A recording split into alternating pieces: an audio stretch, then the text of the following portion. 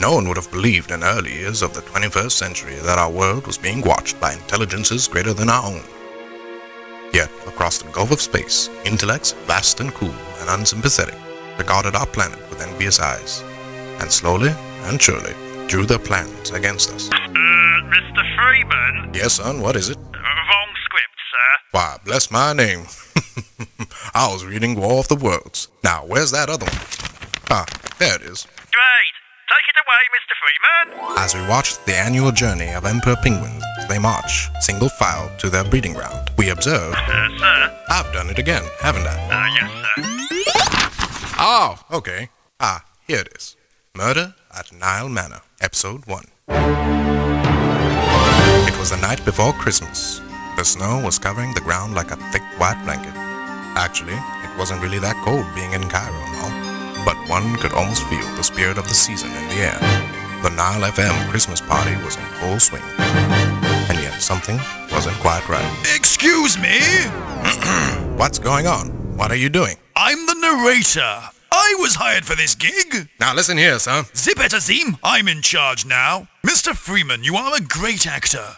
If you've got a play about a friendly dolphin or a day in the life of a raindrop, but what you've got here is a murder mystery.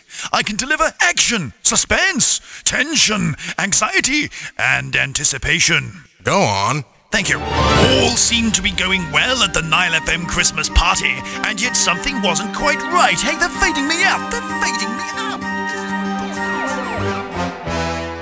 out. Okay, dumb cop, what do we got here? Uh, double quadruple homicide, Chief. Double quadruple homicide? What does that mean? It means two times four dead bodies, sir. You mean eight dead bodies? Uh, exactly, sir. Why didn't you just say eight dead bodies, you idiot? I, I just wanted to sound smart, sir. Heck, the bite from the turkey sandwich I just had for dinner is smarter than you. Get over it.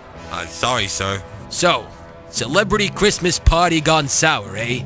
Eight dead bodies, each one disposed of in a manner befitting their persona. I think the killer's a genius, sir. Hey, I'll be the one to hand out genius labels around here, capiche? Suspect is male, organized and angry, but his anger is very controlled. He likes reading and taking long walks by the sea. His favorite food is kushery. Well, sir, how did you know all that? Hey, I've been doing this way before you were creaming your diapers and begging milk from your mama's balloons. Do we have any suspects? The rest of the party guests? Yeah, we kept them in the upstairs drawing room. All right, get me a coffee and tell my wife I'm not coming home. This is gonna be a long night. Oh, it's me. Uh, meanwhile, in the upstairs drawing room, the party guests are getting a little nervous. Silence, everyone. Now I see that you're all a little nervous. The police are here now, and I can assure you, speaking as a man of uniform, we are trained to handle the most delicate of situations. What? I remember when I was a lad back in Her Majesty's service, we always knew how to handle ourselves. If you know what I mean. Oh, stop that. You make me so jealous when you talk about your past girlfriends. But Belinda, you know you're the only one for me. And besides, that was over 40 years ago. You weren't even born back then. Not for another 20 years, in fact. Why are we laughing? I simply have no idea. Colonel Green. I'm sure we're all suspects here. Well, don't look at me, Stella. I was outside for most of the time feeding the reindeer. Poor little thing looked so cold and hungry. I doubt that, Mr. De Suave. According to my in-depth knowledge of the region, there are no reindeer here in Egypt, and even if there were, they certainly wouldn't be that cold. I was feeding some sort of creature, and it was cold, okay? And besides, Professor Nutty, you're the history and geography teacher. What would you know about countries and regions? Uh, everything. I should have gone to Spielberg's party if I was invited. Yo, Missy Elliott know that right now we be fried. But y'all gotta learn how to take a chill pill, you know what I'm saying? What? I meant that in light of the current circumstances, one must learn to keep one's cool and not panic. Do you understand? Oh. Why didn't you say that earlier? Professor Nutty, I'm Missy Elliott, a hip-hop diva, and therefore I'm expected to speak in a certain manner because I've been stereotyped to do so. Oh, I see. Carry on then. For shizzle.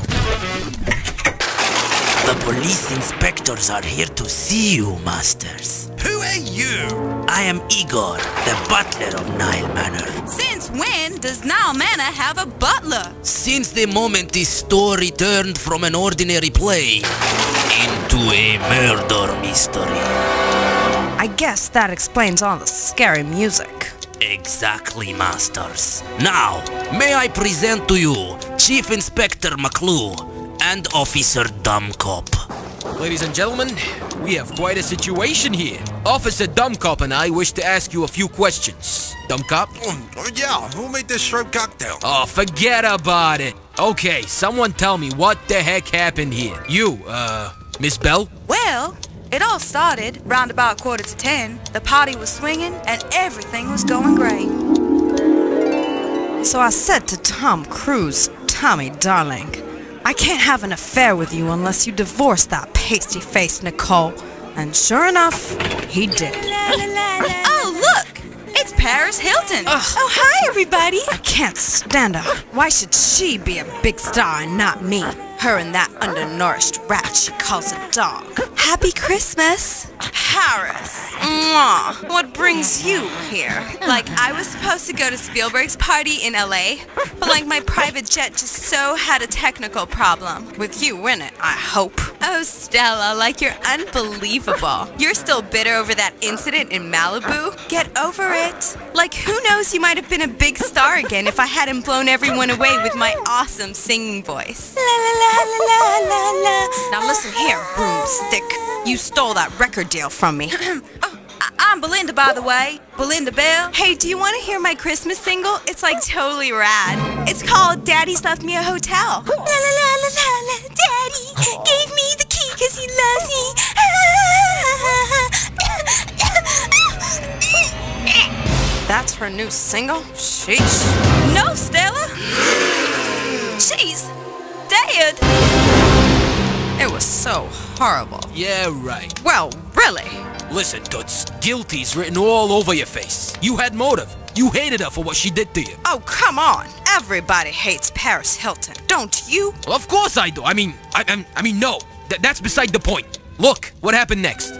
There she was, lying there motionless, her and her rat dog. Very good. You know, for a washed up movie star, you're quite an actress. What do you mean? Cut the crying act, lady. I know fake tears when I see them. It was you, wasn't it? You poisoned her lipstick. No, I didn't. We had our differences, but I'm not a murderer. It's true, Inspector. I was with Stella the whole time. She couldn't have done it. Yeah, we'll just see about that. Now, the next victim was... Oh, you gotta be kidding me. Him? Who had the audacity to poison Paris Hilton's lipstick? Well, it certainly wasn't me, even though I do have a PhD in chemistry and cosmetics. That's beside the point. Paris Hilton is forgivable, but her poor little doggy too? Oh, the world is an ugly place. So, who do you think done it? And which celebrity is next for the Christmas chop? Join us again for more Murder at Nile Manor!